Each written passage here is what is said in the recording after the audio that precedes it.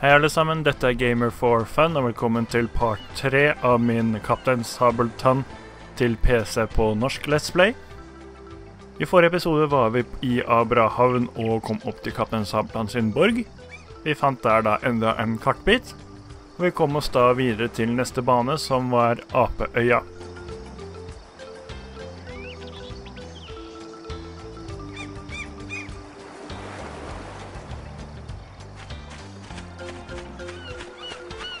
Så her ser vi da stranden på Apeøya.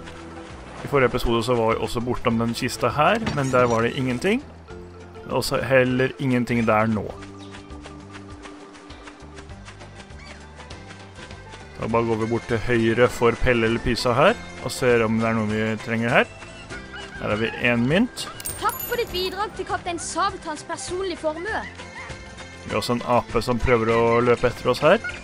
De vil ta litt av livene dine hver gang du kommer bort til dem, så det er lurt da å bruke sverdet for å slå dem bort før de kommer på deg. Her bruker vi da en havskjelpadde, som så vennlig tar og tar oss over til den lille øya her. Hvor vi finner en slags uh, påskeøyahode, kanskje. Det er for det som er inspirasjonen. Med også et par stiger bak, slik at vi kan klatre opp på toppen av denne statuen.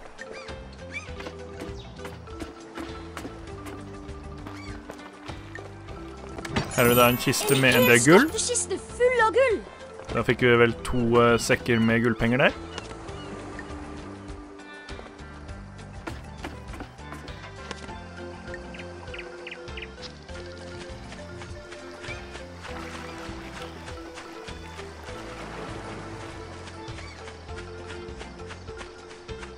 Og her kan vi da se den sorte dame som er her og ligger til uh, stranda.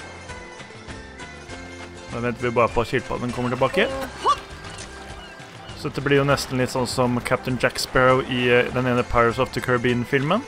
Hvor han da klarer å unnslippe øya med å, ved å ri på et par havskilpadder. Så er vi Sabeltann og Langemann. Det er viktig hvordan du flytter beina når du skal fekte. Langemann blir jo både originalt spilt og dubba i det spillet her av Audun Meling. Som etter min mening er den perfekte og den eneste ekte Langemann. Hva kan være gravd ned her?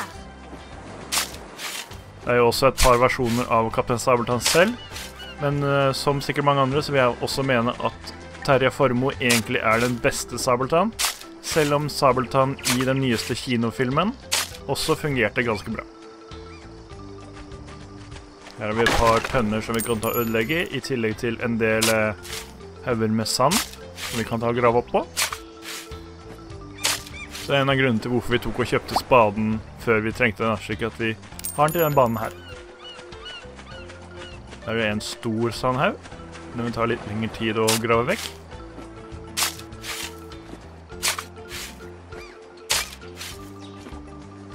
Så den delen her av spillet blir nesten tre forskjellige baner sammensatt i én. Vi har det strandnivået her som du ser vi er på nå. Så kommer vi til å komme inn i en liten jungel, før vi kommer inn i selve vulkanen litt etterpå.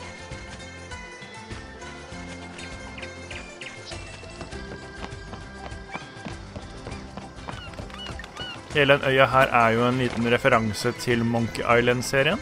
Så for dere gamere som er litt eldre og eventuelt husker Monkey Island-spillene, så heter jo øya Apeøya på norsk, eller Apøen på svensk. Hele øyet er også designa litt etter Monkey Island-banen, ettersom det er en svær vulkan i midten av selve øya. Som vi kommer til litt senere i spillet.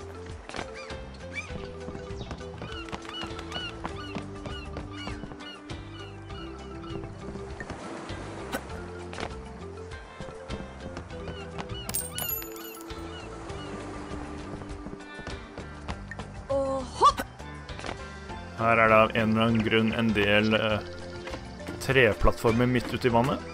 Rundt eh, vraket av skipet her. Så da får vi litt plattforming også på denne banen her. Nå blir kapteinen stolt av meg.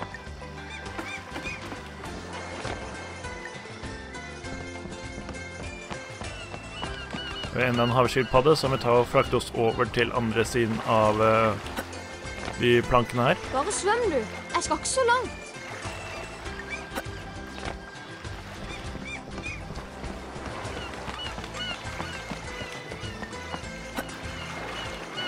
Nå må du ikke finne på å dukke under vann her, skilpadde. Det var et veldig langt hopp av Pinky der. Så er vi to stykker som vi bruker for å komme oss over til andre sida. Så er det også et forlisskip da, som er på baksiden av alle disse plankene som vi ser er satt i vannet her. Praktisk nok for å komme oss til andre delen av øya.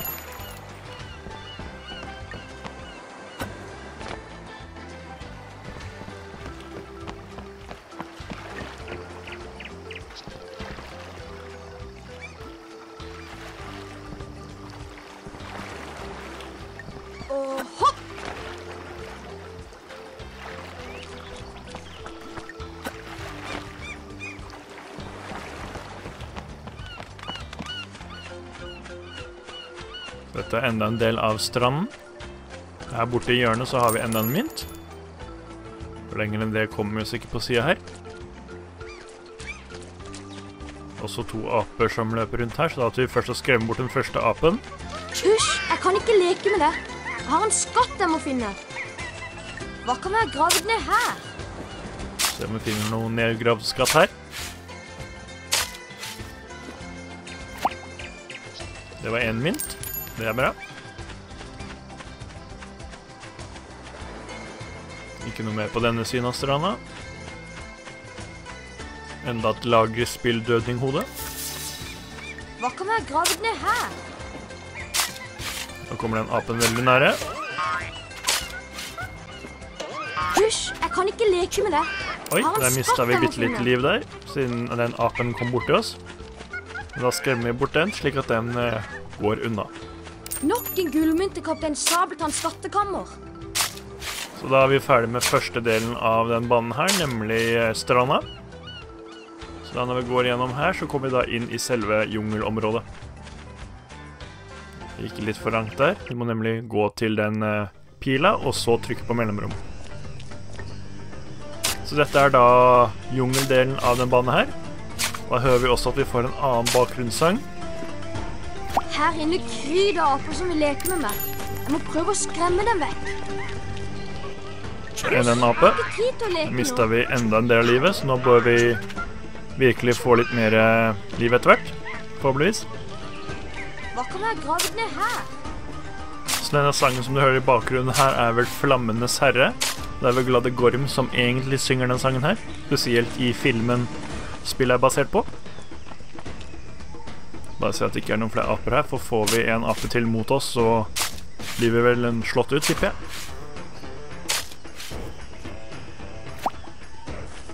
Man ser da en god blanding av flate 3D-bakgrunner som du ser av på sidene av banen her, og ordentlig modellerte 3D-strammer som du ser litt innimellom.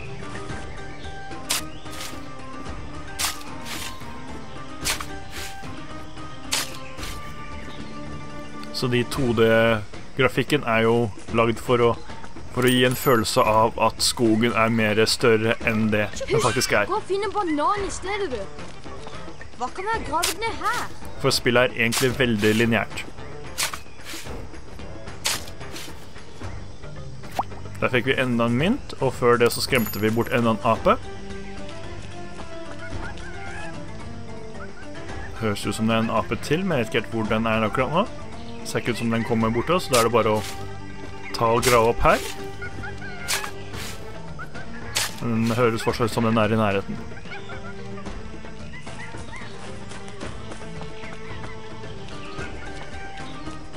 Ingen her, nei. Kan også se en del steinhoder eh, langs eh, denne stien her, som ser ut som apesteinhoder. Igjen da for å gi til tema om apeøya. Men det er neppe nok til at kongen på havet vil ta det rolig de neste hundre år. Så enda en gang så vil jeg bare si tusen takk til alle sammen som har støttet denne serien her, kommentert, likt og delt alt sammen sånn. Prøvde for første gang i forrige episode å sende premieresending. Det var ganske hyggelig, det. Så takk til alle dere som var også på premieren av den nye episoden.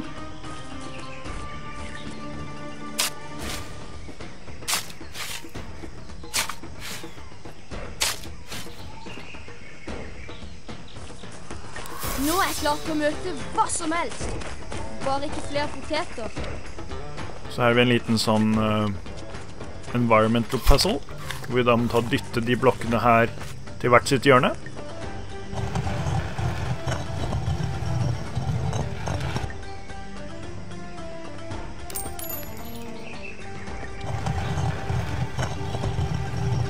Der har vi vel vann, og så hadde vi sola på den andre blokken. Den tung. Er det annet form for øye.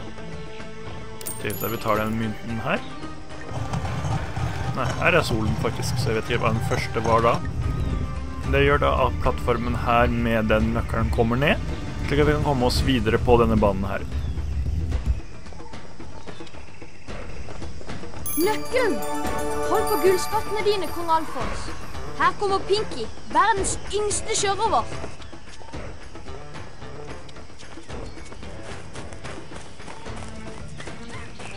Så er det da enda en ape. finn en banan i stedet, du. Den klarte vi heldigvis å skremme bort før den angrep oss. Og her kunne vi da også bruke den nøkkelen som vi nettopp fant for å komme oss videre. Finner jeg flere av disse, blir jeg ikke bare en ekte sjørøver. Jeg blir en av kaptein Sabeltanns utvalgte menn. Så denne delen her av banen har 40 gullmynter. Så forhåpentlig så finner vi ganske mange av dem etter hvert. Jeg kan komme på veldig mange andre steder jeg heller ville ha vært enn inni denne hula. Men jeg må følge kapteinens ordre. Hysj! Gå og finn en banan i stedet, du. Hvorfor kan ikke du bare ha med deg bananer, Pinky, så klarer du å skremme dem bort med en gang? Her er vi da enda en tønne som vi kan ta og ødelegge med sverdet vårt. Der var det enda en gullmynt. Går vi oppover denne trange lille steinpassasjen.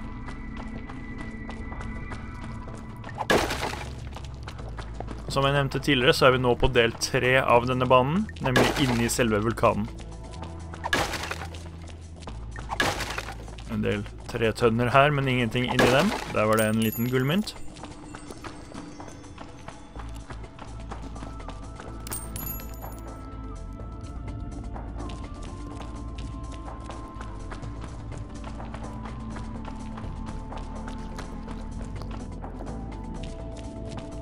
Så siden dette er et barnespill, selv om det ser ut som Pinky kan dette ned fra de plattformene her, så er det ikke mulig å dette ned fra plattformene hvis man går litt for langt ut til sida. Én gullmynt til. Men det er neppe nok til at kongen på havet vil ta det rolig de neste hundre år. Ingenting oppi her, men en gullmynt der. Her kommer vi da til en splitta del av den banen her. Det er nemlig to veier vi kan gå. Jeg sikkert bli stående på Der hoppa han veldig langt. Eh, Du kan enten gå til venstre her, eller opp til høyre. Vi skal først ta og gå til venstre her. Jeg kan sikkert bli stående på disse Det er også viktig at du ikke står for lenge på de steinene her, fordi vi da synker ned i lavaen etter hvert. Her var det enda en ape som gjemte seg bak den tønnen. Samme her også. Her må vi også tenke på hvor lenge vi står på disse plattformene før de synker da ned i lavaen.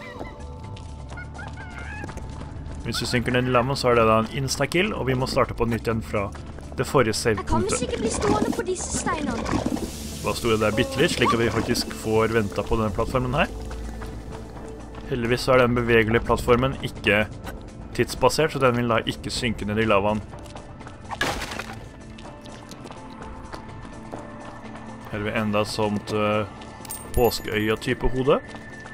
Eller er det faktisk en fugl det er øh, en statue av? Jeg bli stående Er ikke på helt sikker? Så vi må vente her bitte litt til den plattformen kommer nære. Jeg kan visst ikke bli stående på disse steinene. Det er ikke så mye dialog egentlig Pinky har, så vi må bare høre en del av dem et par ganger.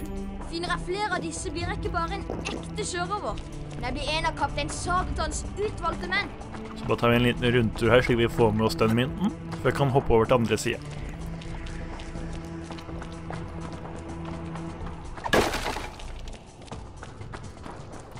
Hvordan skal jeg komme over her? Så er vi enda en sånn environmental puzzle. Så da er det bare å dra i den spaken her, slik at lavaen synker ned på en eller annen merkelig naturmåte. Nesten som om man hadde dratt ut proppen i badekaret.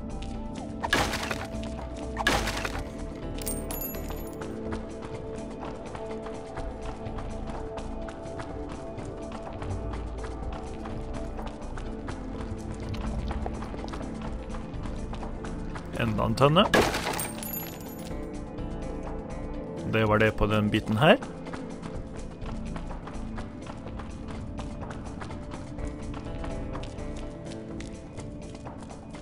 Her ser vi da hvorfor vi også trenger lampa en gang til. Der har vi nemlig en mørk hule med en del skattkister i. Skal bare gå rundt her og se om jeg finner alle myntene og alle skattkistene.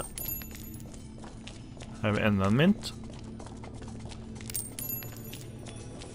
Og enda en skattkiste. Nå blir kapteinen stolt av meg.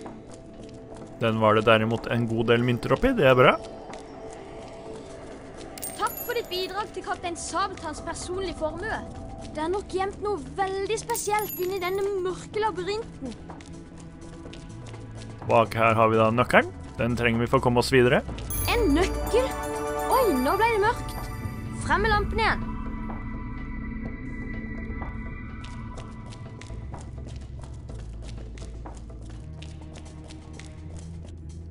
Så er det enda en mynt.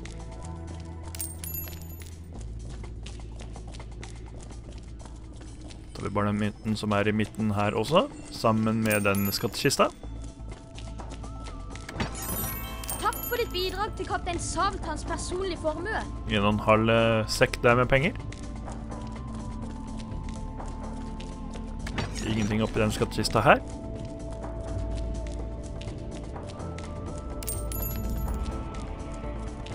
Kaptein Sabeltann blir nok glad når jeg finner gulltann. Og det var den siste mynten da på den banen her.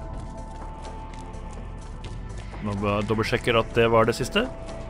Det var det, for da kom vi bare rundt her igjen.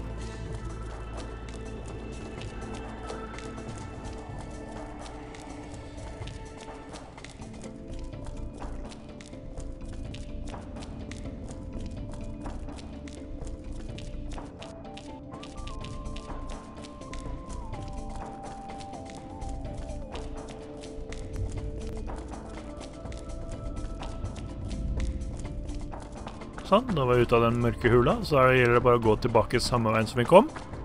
Og så hoppe over til høyre sida da, for å komme videre i spillet.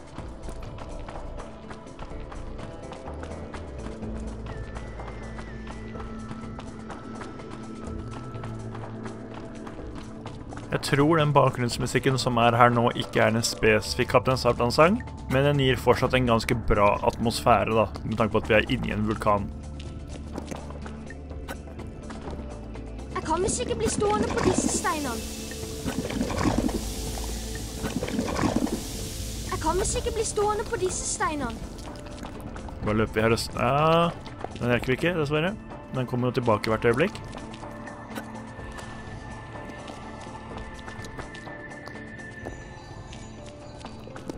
Og hopp! Da hopper vi bare over her også. Jeg kan visst ikke bli stående på disse steinene.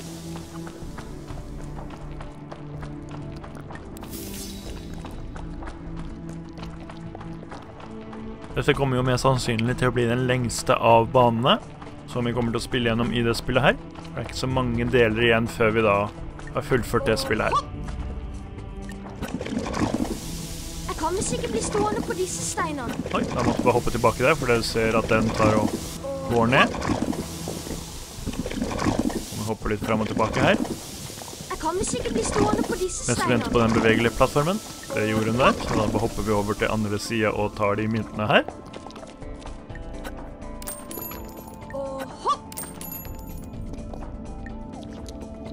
De beveger seg heldigvis ikke.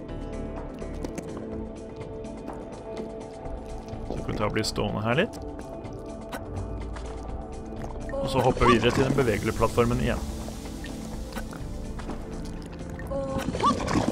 Da er vi over på andre siden.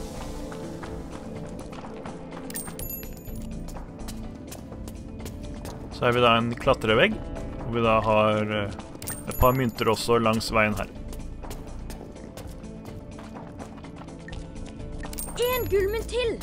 Men det er neppe nok til at kongen på havet vil ta det rolig de neste hundre år. Man kan jo lure litt på hva det er faktisk Kaptein Sabeltann egentlig gjør for å få alle den skatten her og myntene. For det er egentlig Pinky som gjør alt sammen av grovarbeidet. Både går inn i mørke huler og slåss mot forskjellige fiender. Så har vi to mynter til bak de steinene her.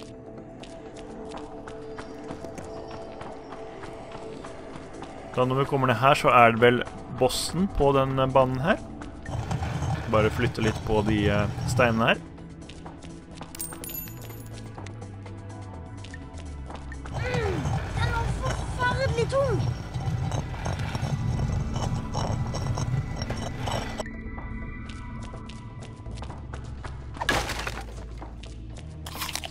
Enda et eple, som gjør da at vi får fullt liv. Og en lagerspilldødninghode. Her er da nemlig hvorfor vi tok den andre delen i stad. Nettopp fordi at her får vi enda en nøkkel som vi kan bruke for å komme inn til bossen på denne banen her.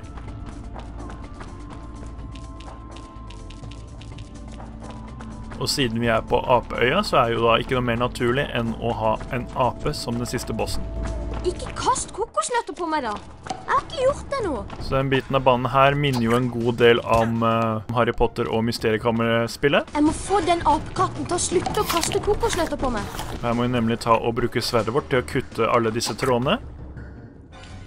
Hvis den steinen som henger der, treffer han i hodet, vil han kanskje slutte å plage meg. Ganske likt som vi gjorde på Argorap-banen, hvor vi tok og kutta av de trådene for å få Argorap til å dette ned. Ellers takk.